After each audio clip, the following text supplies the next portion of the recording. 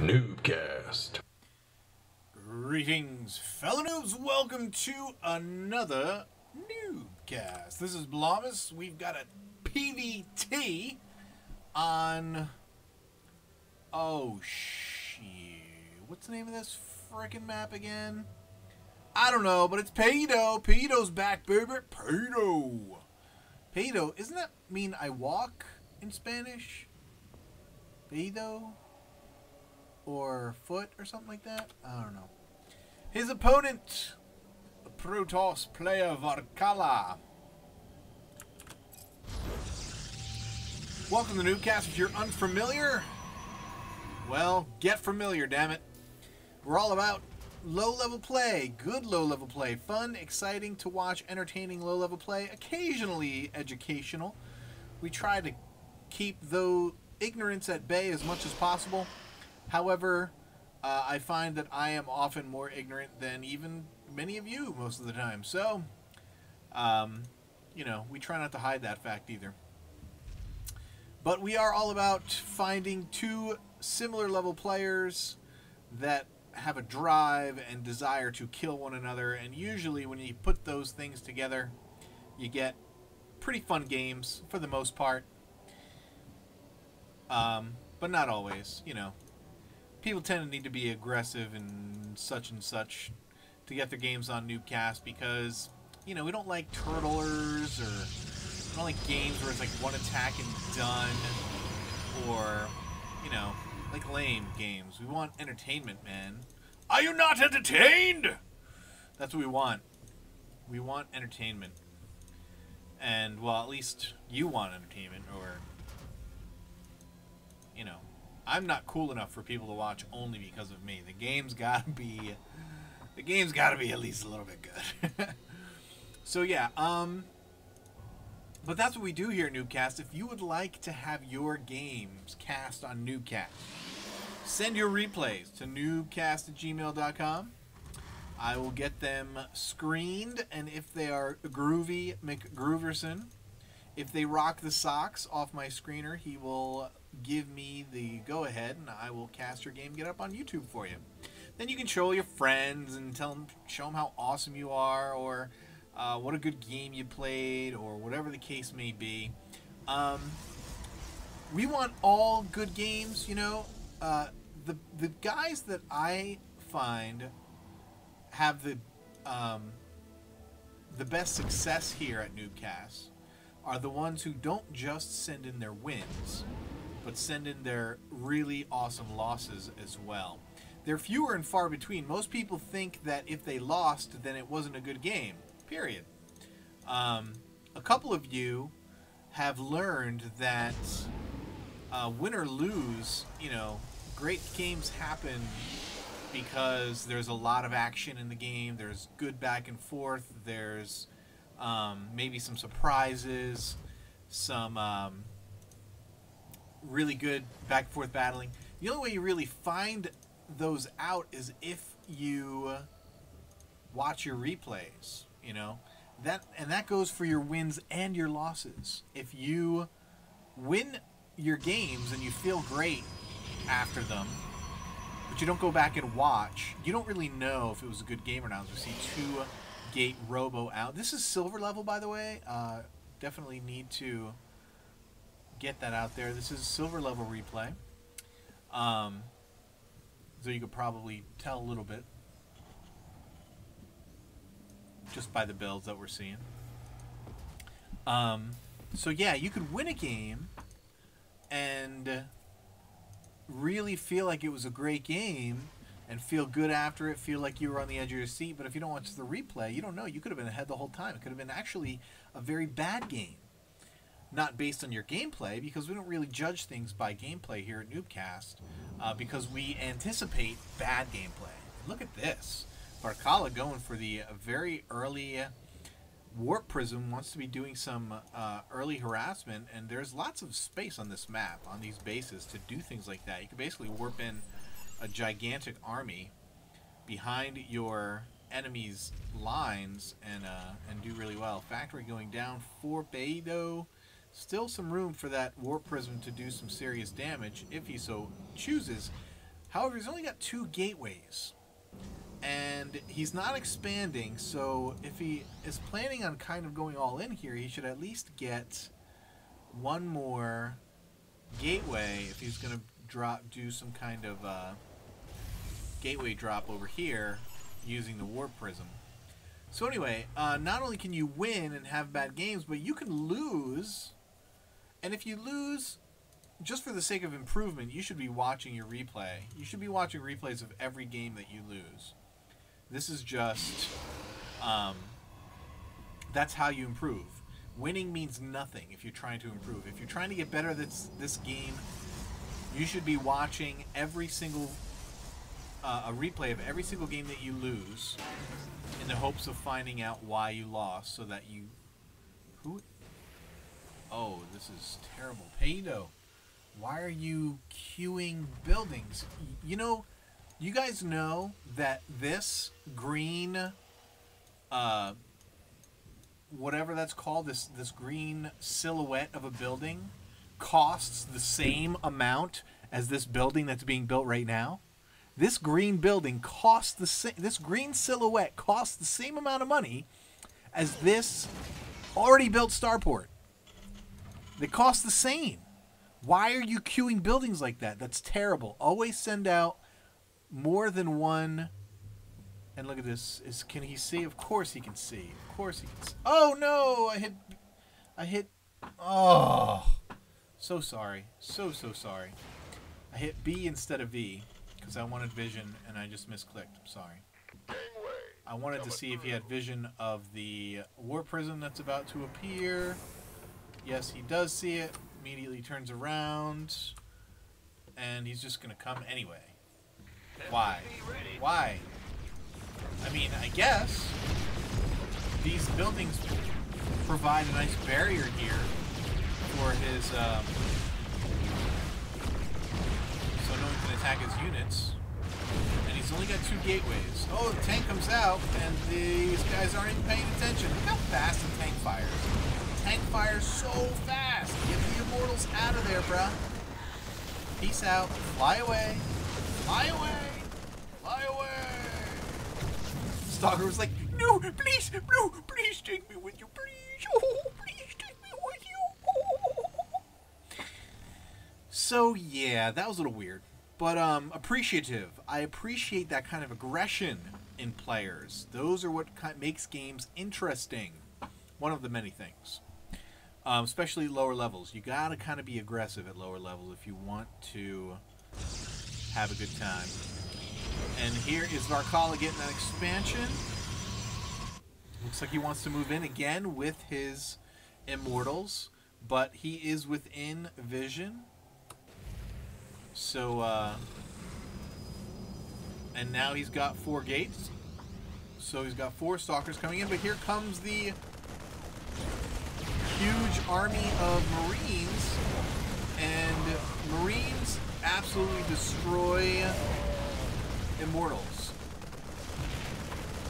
Utterly destroy them. So, yeah, get on out of there. So basically, that time you just donated five stalkers. I don't even know if you killed... I guess you killed a few Marines because there's blood splattered on them. Uh, and up go the turrets. Alright. Uh, SCVs. Beto. Look at that. Yeah, get it back to work, bruh. What are you doing? Way too long for any number of SCVs to be sitting around. Oh, look at all this energy. Why aren't you dropping mules? Mules, mules, mules, mules. Mules, mules, mules. Oh my goodness. There you go. There you go. Dump all that energy. All of the energy. Dump it all. Nice job. Nice job. Gonna get a huge economic boost here. Look at Varkala almost mined out in the main here. He has only got one probe over here, and he's not making any more. I'm surprised. He's got way too many guys mining here. This is all... Oh my goodness, this is 25. Yeah, he needs to take like five of those, five or six of those probes and send them over to the other base. Warp Prism, do not fly over there. You will die because there are turrets everywhere. So, yeah, like I was saying, to finish my thought, more starports. What is he doing? Is he going, uh... Why are you making Vikings, Pado? I don't understand. Some of you guys, and this will be an educational moment, you've seen what your opponent is doing. Like, he saw that Varkala is basically Gates and Robo. Nothing out of those two buildings can fly. Nothing. Nothing can fly. Unless he was just making that one so that he could scout. But now he sees the Colossus, so yeah. I guess he can make a few Vikings for the Colossus, but now he's got... He's going to make Banshee? I don't know. I'm confused. And this is... This kind of thing comes part and parcel with casting low-level games, is because you really do never know what's going to happen. Like, seriously, you never know what's going to happen. We got a Colossus, mostly Stalkers, almost no Zealots, so Hellions are going to be kind of worthless against this composition. Like, really worthless. Unless you're going to use them to harass. Um, if P Pado... Yeah, they're all dead. Dead. Goodbye, Hellions. Didn't even get by. But now he knows all of the army composition. There's three Zealots in this composition. Unless, if you're going to harass, you can make some Hellions uh, as a Terran, but if you see that there's... The only unit that Hellions do really well against are Zealots in a Protoss army. So, if you don't see that there's lots of Zealots, then by all means, don't make Hellions. Don't make a lot of Hellions. And look, you're still making Hellions. Stalkers. Siege Tank's really good against Stalkers. Marines are really good at... No. Uh, Marauders really good against Stalkers. Marines are good against your Immortals.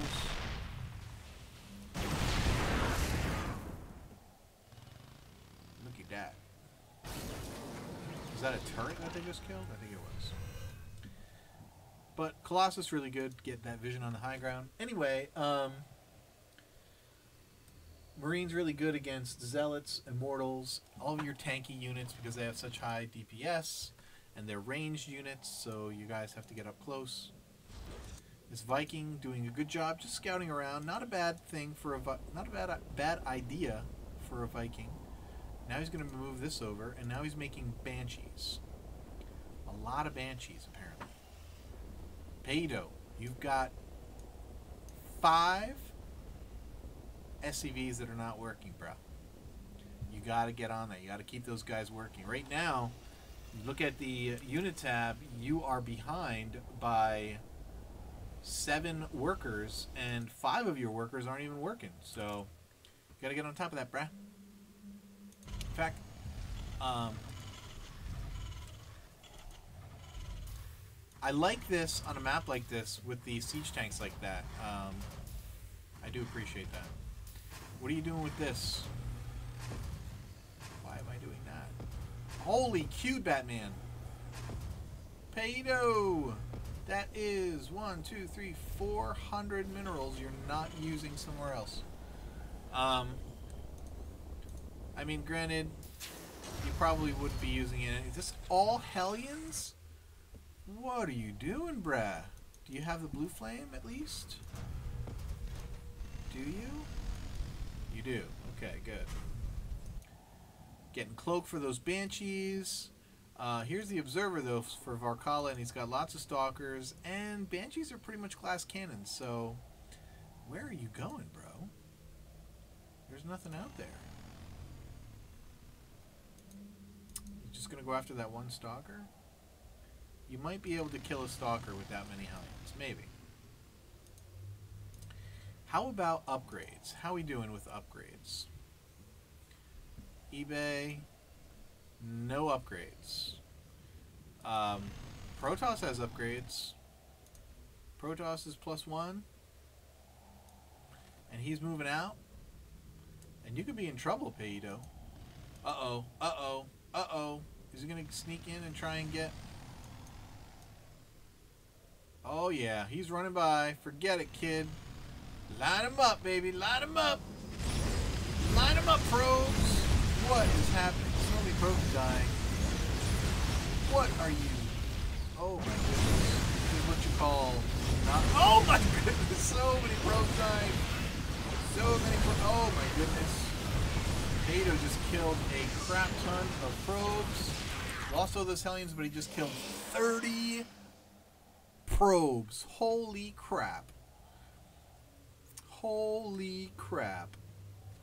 Now, granted, um, he doesn't have much of an army left. He's way behind an army supply. But that was pretty darn cool. And, uh, let's check that worker supply, too. And look at that. He, but he just put himself, even though he hasn't been making any workers, like, since ever. Oh, and here come the Banshees from the back. Oh, my goodness. This should be devastating. This might even be the game. Um, this many Banshees coming back. He just lost all of his workers. He's mined out in the main. Stalker's coming back. There is the... Oh, man. Varkala is not going to have any...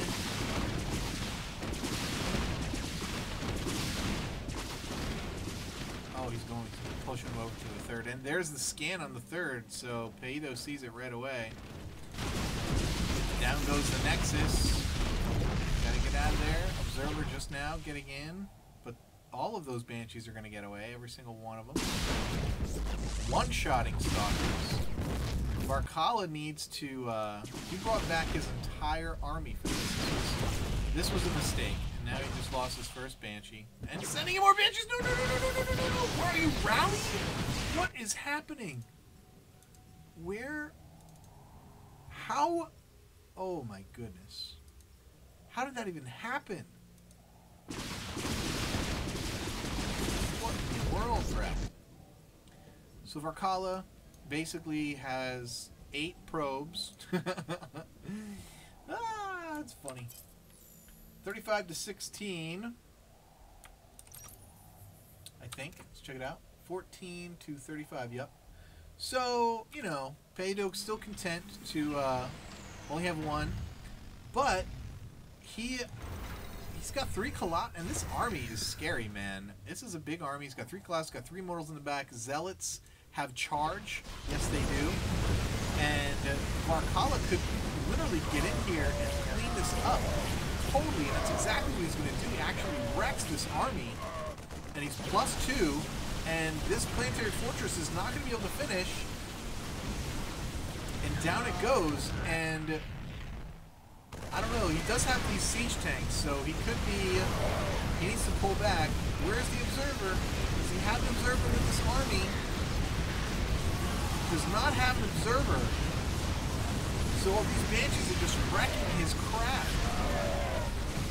And that's it, man. Paydo absolutely wrecks Varkala, and Varkala cannot there's no way he can come back. He's got like zero income. Actually, he's bounced back as far as making probes. He's doing okay. Yeah, see? Observer. Yeah, you needed one of those before, brah. You needed one of those before. Now he can basically just go and wreck shop with all these Banshees. Game will be over. Um, tanks playing defensive. This was, and this is what I mean when I say, you know, we don't take gameplay into consideration because obviously there are tons of bad things that happened in this game, right? Tons of bad things. And now Beto's going to come in here and he's going to be able to wreck shop. Does he not have energy on some of those? I guess he doesn't. But these Banshees are actually in trouble here. There's an observer with them.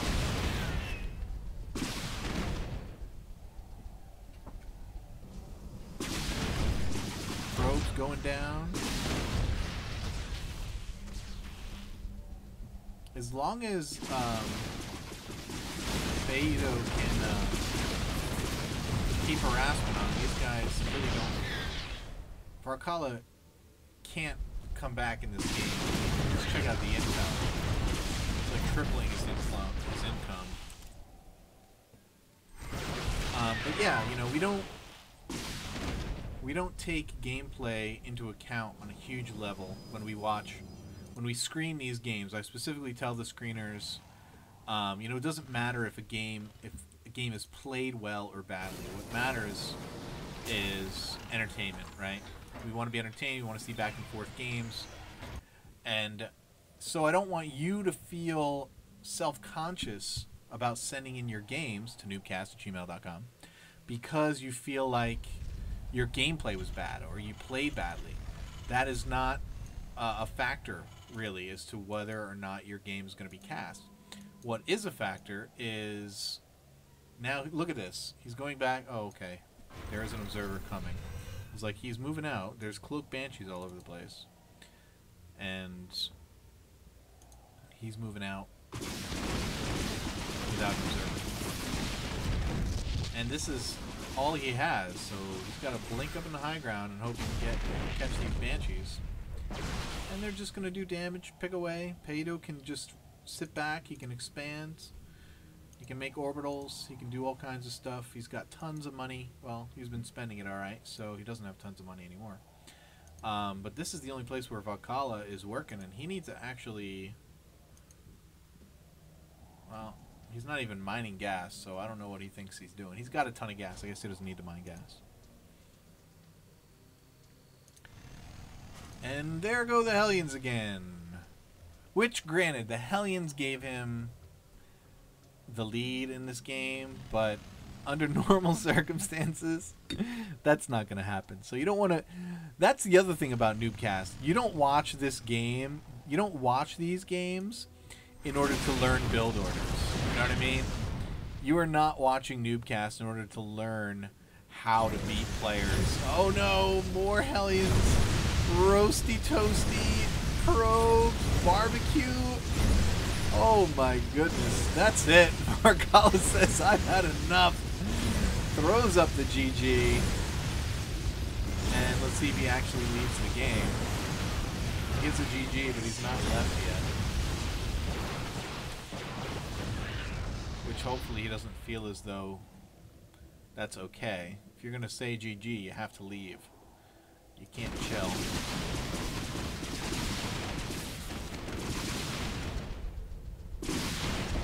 time. There we go. Marcala has left the game, but Paydo has not. Hey guys, do me a favor.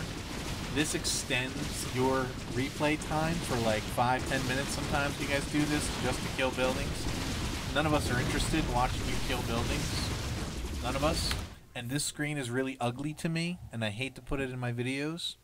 So please, when your opponent leaves, you leave. I appreciate it. All right, guys. Hope you enjoyed it. Um, make sure you're watching your replays, but when you get a good game, send it to nuubcast at gmail.com, whether you win or lose, because we want to see them both. And frankly, I have a lot more, I, I have a, a considerable, considerably more respect for the guys who send in games they lose, um, because it shows, to me at least, that uh, shows me several things. It shows me that you're watching your replays shows me that you understand quality of game. Um, the quality of a game is not based on whether you win or lose, and that's a good thing to understand and know. Um, and you know, it also shows that you know you, you understand that a loss in this game is not a bad thing; it's actually a good thing. Losing in StarCraft is the only way to get better. Uh, like WhiteRa said, obviously more GG, more skill, uh, and the reason for that is losing is the only way you learn. It's the only way you ever learn.